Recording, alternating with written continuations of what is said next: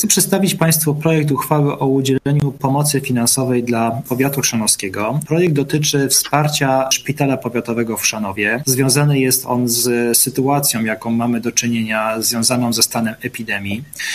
W szpitalu powiatowym w Chrzanowie, jak Państwo wiecie, mamy oddział covidowy i w takich rozmowach, które tutaj prowadzimy na bieżąco z panem dyrektorem Arturem Baranowskim w gronie burmistrzów, wójta powiatu chrzanowskiego, pan dyrektor zwrócił się do nas taką prośbą o e, wsparcie w zakresie zakupu urządzeń do wysokoprzepływowej tlenoterapii.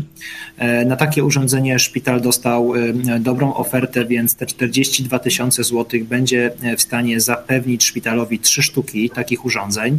One pomagają pacjentom z problemami z oddychaniem, ale nie muszą być jeszcze podłączeni do respiratora. Takie urządzenie pomaga im właśnie w oddychaniu. Inne gminy również tutaj takiej pomocy finansowej e, powiatowi, e, e, szpitalowi powiatowemu udzielą. Także drodzy Państwo, no jest to jakby kolejne nasze działanie tutaj wspólnie z innymi gminami mające na celu wsparcie naszego powiatowego szpitala, który jest na tej pierwszej linii walki z koronawirusem. Proszę Państwa o przyjęcie tej uchwały i udzielenie pomocy powiatowi. Dziękuję bardzo. Stwierdzam, że 21 głosami za, przy braku głosów przeciwnych i braku głosów wstrzymujących się, Rada Miejska podjęła uchwałę. Dziękuję Państwu bardzo.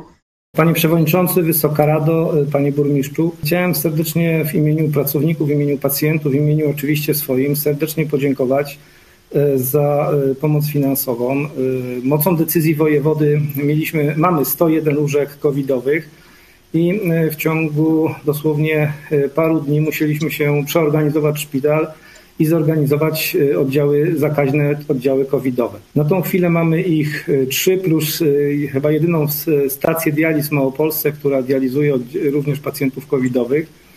Chciałem jeszcze raz tutaj podkreślić Państwa zaangażowanie, ponieważ nie pierwszy raz gmina Chrzanów, pan burmistrz, Wysoka Rada, nam pomagacie. W związku z tym chciałem przekazać takie symboliczne podziękowania tutaj na ręce pana burmistrza dla, dla państwa, dla Rady Miejskiej. Bardzo dziękujemy, krótko mówiąc, bardzo dziękujemy.